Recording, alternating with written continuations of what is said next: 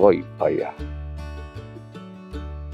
あ、ちゃんと塩かあたりも、ガツッとお金落としてきましたしね。うん、いいでしょう。よし。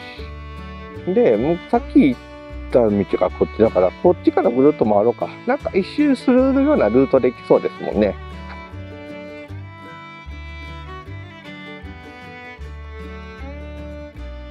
バイクのギャ自転車で来てる人も多いですね。まあ、時期も季節も、バイク乗るのにほんとちょうどいいですもんね。うん。この辺りなんかもうバイクの駐輪場用って感じで作ってありますもんね。へえー、すごい。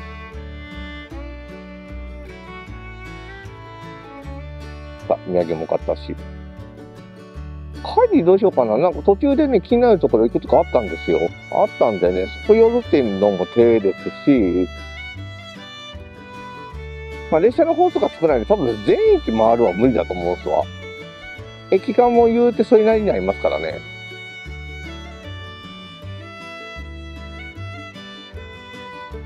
えー、ほら、こっからどうしようかな。うん、桜も。まあ、この辺りだいぶ来てますもんね。よいしょ。どっちから回ってたらいいかな。バイクいいよね。よいしょ。あ、あ、あ。すごい。ここから結構切ってますもんね。まあ、ギリギリセーフでしたね。よし。よし。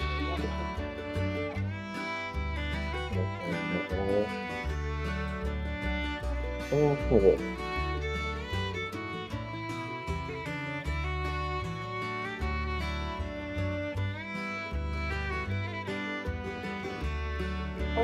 で、地図に乗っ取った反対側の方の橋の方かな。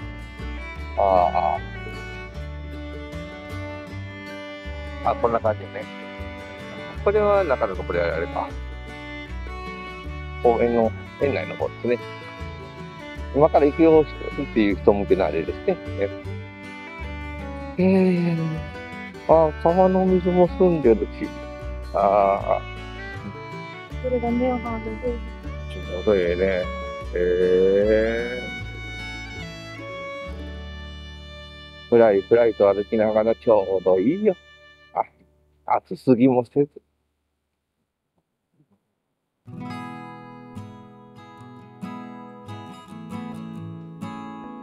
そうですね、ちょっともう、長袖だとちょっと暑いかもなってぐらいですので、私も半袖で来ましたからね、今日は。どうせこの後もまた歩く企画ですからね。ええ、まあ、あれやったら森田岐阜寄ってね、飯食ってくるのもありですね。うん。よし。まあ、電車の踏み具合見て、ちょっと途中で降りて。えー、てもいいですからね。ささすがにちょっとたるみからは乗りたいかな。あ、綺麗。じゃあいいじゃん。あっちにはな、あれなん。だあん。なところに、ふわって咲いてるのもあるけど。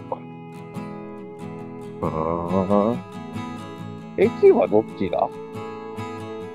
まあ、この人の流れについていけば駅が着くだろう。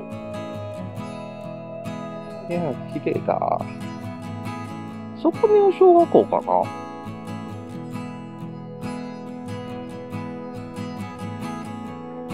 へー。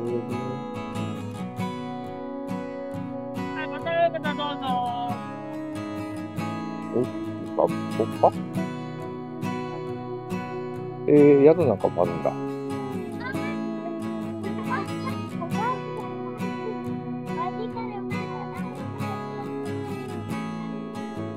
ああ。一方通行してあるんだ。なるほどな。あっちが行ったら入ってこっちに出てくっていう一方通行なんですね。まあ気にしないとまあまあ細いですからね。あ、こっちにも駐車場あるんだ。あ、有料なのかな、まあ、特に人立ってないですし、まあ、ちょっと離れてますもんね。えー、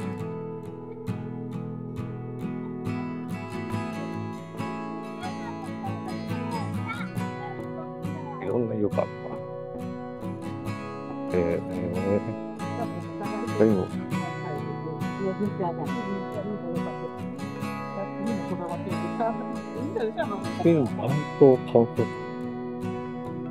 そん。なある。うーん。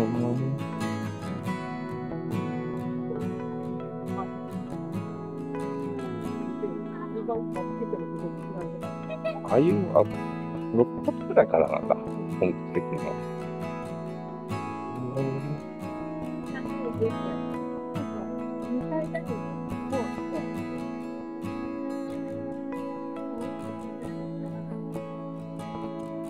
え。ー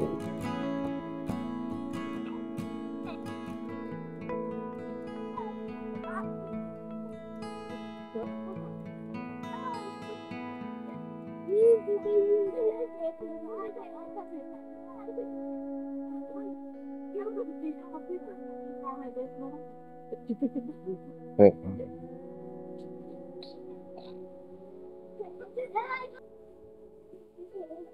ー、これを東谷だ。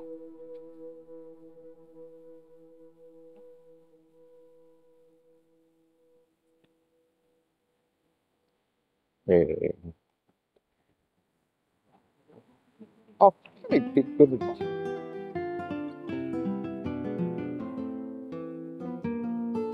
これさっき言った話ですもんね。ぐるっと回る形になるから、そっちから行ってもらった方がいいかもな。えー。川の流れ、ちょっと早いですけど、ちょうどいいぐらいの量ですね。進んでますしね。覗いたら、洋蘭かな。よし。さすがにないな。うんまあそこら辺を泳いでても不思議ではないエリアではあるんですけどね。はあ。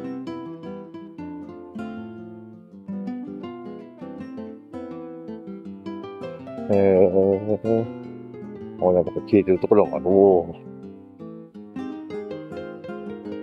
見応えありますね。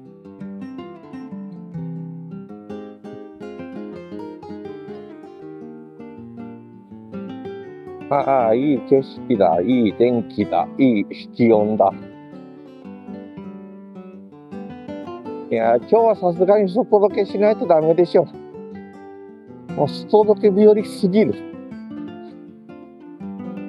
本当はゴールデンウィークに向けた動画の編集を結構一気にやっちゃわないといけねえだろうっていうところではあるんですけど。まあ、言うて今投稿本数がだいぶタクト増やしてますからね。月平均60ペースになってますもんね。さすがにね、ショーツも含めると、えー、いってますし。なんなら一回どっかでショーツをドカンと作って、ちょっと一回実地検査じゃないですけど、どの時間帯に上げるのがぶっちゃけいいのかよくわかってないんでね。えー、なるほど。上大須ダムの放流による増水地。ああ、サイレンが鳴るんですね。いわゆる鉄砲水ってやつですね。市営バスで入り口のため、え一発目中止。なるほど。市営バスの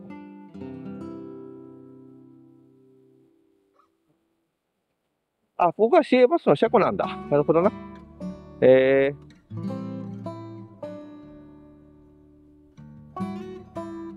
ー、どっかで元寿司のコミュニティバス走ってましたよね。なんだったっけ？あ、あそこだ。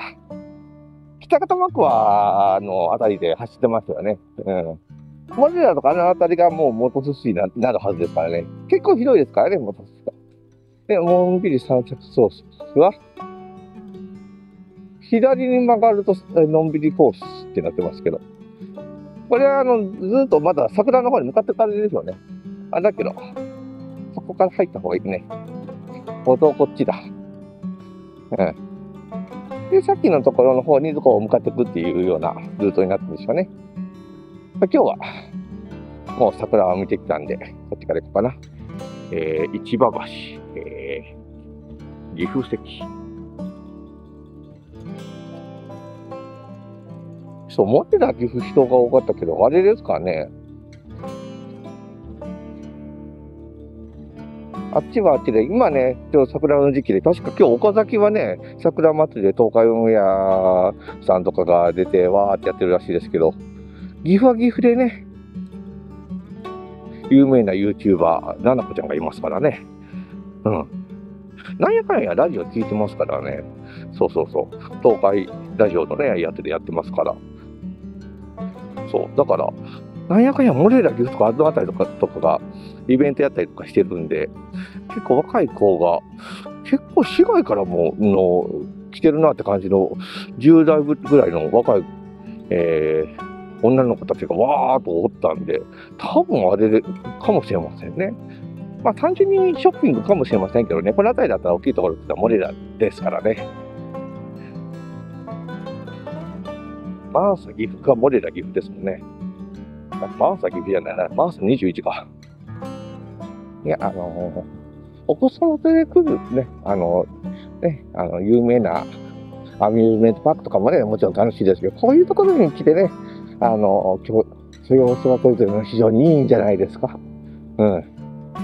うん。あ、ちなみに今日、行きの途中、取れてなかったらあの大丈夫なりともう入ってると思いますけど、あの、取ってる途中でね、途中で、どこかの駅のに着く手前のところがで、ブツッとなってると思うんですけど、あの、何があったかっていうと、あの、まあ、全面、前面店舗じゃなくて後面店舗か。えー、一番後ろのところね、もう席がもういっぱいだったんで、もう逆に一番後ろの方に張り付いてやってたんで、それで、ね、カメラ回してたんですけど、途中であれですね、あの小さいお子さんが、あの、覗きに、かぶりつき席のところですかね、あの、覗きにね、来はってたんで、まあ、その、ああいう、あ、こんにちは。ああいう、なんて言ったらいいの？えー、長時間ずっと撮ってるときはね、あの、心臓より上の位置にね、手を置いとくと、まあしんどいんで、まあ低めの位置で、まあこうやって、旅々手とかするときも、なんて言ったらいいのかな。このあたり。このあたりってわかるのかな。うん、まあ腰の位置あたりにね、カメラを持ってきて、えー、こう構えるっていうような感じでやるんですよ。やってるんですよね。ただその、今回もね、途中までそんな感じで撮影してたんですけど、途中から、その、お子さんが来たら、この辺に頭が来るじゃないですか。だから、私がね、こう、必然的に上に投げないといけなくなりまして、えー、えー、そしたらね、腕がかなりプルプルしちゃきましてですね。すごい。和風ランチ。和風だな。ひらがなだもんな。へえ。へえ、うどん定食。和風だわ。ここだ。ここに入れんだ。郵便局のとこだ。あ、そう。それで途中で腕がプルプルってなった時に、ちょっと誤ってバッテリーの外すボタンのところに手が当たっちゃって、バッテリーがボトンと落ちてね、えー結果的に強制的にブツッとなったんで、あれちゃんと大丈夫かな？一応、データ修復できましたってなってるんで、大丈夫だと思うんだけど、フレーム、あ、フレーム切って売ってんだ。へえ。今日はやってないもんな、さすがに。ATM は今開いてんだ。へえ。あ、休日でも開いてんだ、ATM。へえ。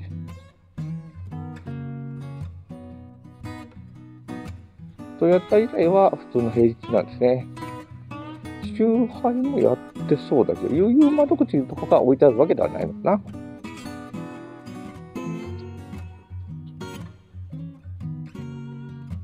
なるほど。車1台だけある感じか。すごいな、牧歌だな。うん。ああいうの、岐阜市でネオ集会センターが消してあるな。なんだろう、こう、なかなかやっつけな感じで消してあるけど。でももう、集配は取り扱いやめたのかなすごいな。ちっちゃいな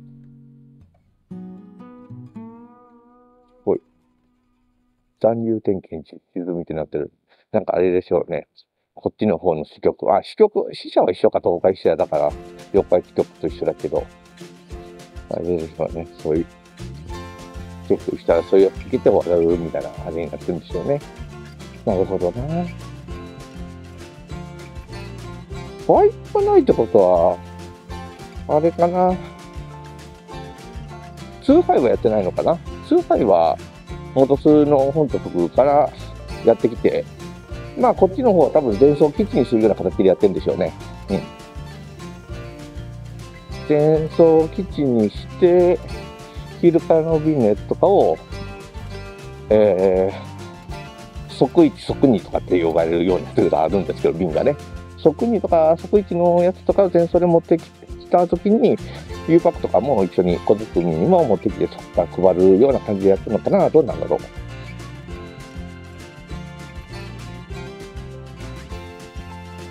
西局はそういうような感じの管轄命令があるんです。小物の方とかにあったはずなんですけど、エリアが広いですからね。四日市郵便局のエリアだと、そういうのはないですので、伝送基地はありますけどね。何回かね、そうしましたね。あ、ここから、